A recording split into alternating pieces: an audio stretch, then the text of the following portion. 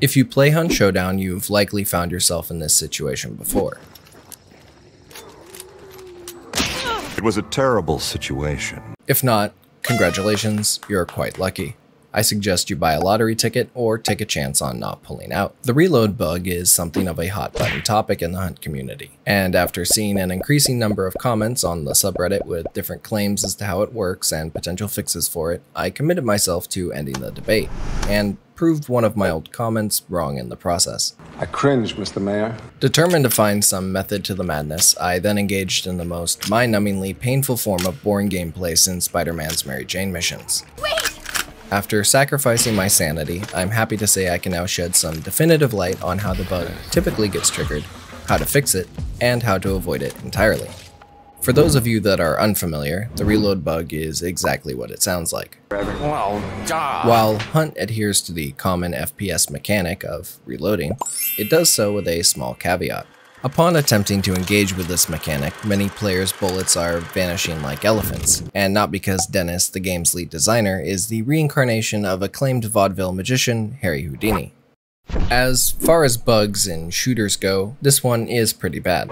Not you, Steve. The Houdini ammo has reportedly been present as far back as update 1.5. Pepperidge Farm remembers. When custom ammunition was first introduced almost two years ago. Despite first being noticed primarily on single shot weapons, utilizing their new capability of carrying two types of ammo, the bug has unfortunately increased in severity with each passing update and can now affect practically every weapon in the arsenal, including the bomb lance and bow. Let's start with what triggers the bug. This is 100% replicable and will probably explain 99% of your Houdini ammo situations. The key is in this clip from several months ago. All you have to do is use the last charge of a tool or the last of a consumable stack right before reloading. If you only have one instance of a certain consumable, this will work too. It can also be triggered using a throwable or placeable world item like a lantern or bear trap. Poof. Magic. Magic. According to all my testing, the window for the reload bug to trigger after using an item is around 4 seconds for most weapons. The Romero and crossbow in particular do seem to have slightly more generous windows, which may account for so many cases of people having a problem with them. This effectively means that you are often able to use an item, shoot, then reload, and still trigger the bug. Pierce loaded your gun with blanks. With this in mind, there are two stages of the reload bug that will typically occur on all weapons. Stage right or stage left? The first stage is what I'll refer to as the false start reload, where after beginning the reload animation, your weapon will be abruptly returned to its previous state as if the reload had finished or been cancelled. Cancelled. The false start is your biggest indicator that you're about to have an unsuccessful reload. Unfortunately, the false start generally appears only at the very beginning of the reload bug's window. Wait a second or two before pressing your reload input, and you'll most likely find yourself already in the second stage, the ghost reload. If you attempt to reload again after the false start, the animation will complete successfully, but your bullets will literally ghost you. They ask you how you are, you just have to say that you're fine when you're not really fine. Spamming your reload input after the false start can sometimes bypass the ghost reload on a few weapons, but on others can cause an animation loop that will make the process of getting ammo to stay loaded take longer than a Lord of the Rings travel sequence.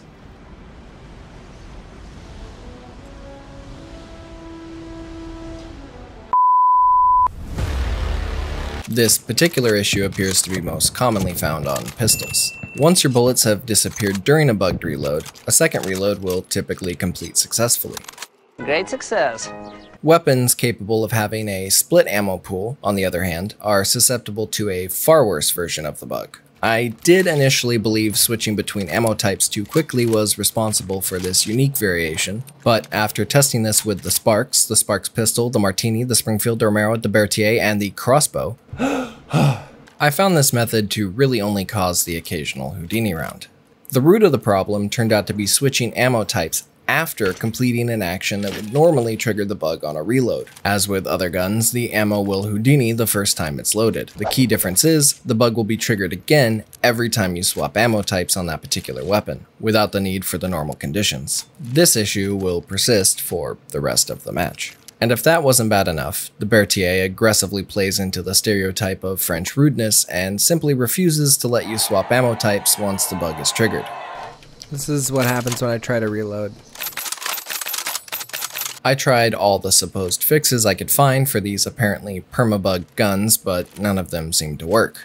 That is until I stumbled, or rather vaulted, into the solution while attempting to fix a bug Berthier. Yes! Animation cancels. Yeah, I'm picking it up and dropping it worked! Ah! We found the fix! When switching ammo types on your bugged weapon, wait for the ammo counter to fill, and then immediately initiate an action that interrupts the reload animation. This could take the form of swapping to your secondary, a tool, consumable, or world item, vaulting, or even climbing a ladder. A ladder! But I recommend the simple and efficient act of going into Darksight.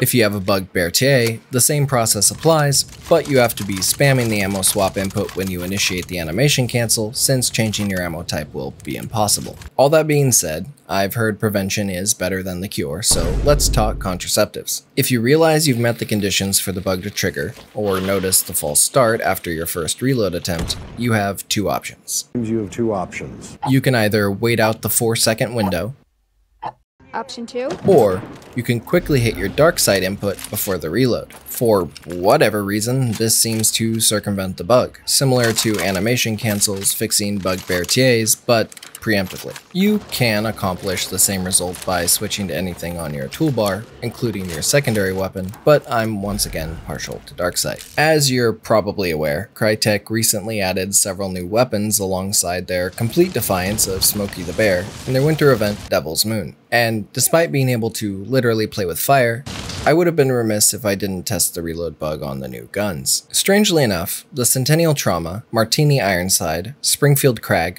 Craig? Krag. Springfield Craig? Krag. Cra- Springfield Krag, and LeMat Carbine all seem to be immune to the bug, with the exception of the LeMat Carbine's secondary fire. The Ironside's ammo counter may have a momentary visual bug, but the gun is otherwise functional. In fact, it appears to have a different kind of reload bug, one that benefits you in the form of a near instantaneous reload. Well, they fixed that quickly. Ironside aside, there's a few other quick things to note about the reload bug in its current state. Interacting with doors, windows, generators, lamps, or bells does not work to fix or avoid the reload bug on any weapon. For a world interaction to work in this regard, it must include an animation involving the player model. A little song, a little dance. The Stalker Beetle won't trigger the reload bug, regardless of whether it's detonated or not. Steve is a good bug. Just look at that face. Look at it. Look at it! Picking up and setting down lanterns, bear traps, or any of the world's spawned melee weapons will not trigger the bug. However, should your hunter have the tomahawk trait, throwing those same melee weapons will. Bullets that disappear during a bugged reload will return to your reserve ammo, but that's not really much of a consolation. Thankfully, we've gotten word from Crytek that they're in the process of fixing the reload bug entirely, with a complete system rework. The temporary workaround that was to be included in Update 1.11 was unfortunately scrapped because they couldn't find a way to implement it without causing other issues instead, like the LeMat exploit. You know, the bug that allowed the LeMat shotgun pellets to have the same range and damage as its primary fire. Hunt is an amazingly fun game that I will play into the ground, but sometimes I do get the feeling that its current reload code might just be a bowl of spaghetti with a pirate hat on. The code is more what you call guidelines. But then again, I'm not a programmer, and I definitely don't know how to prepare Italian cuisine. The best I can do is SpaghettiOs, and overanalyze things at a surface level.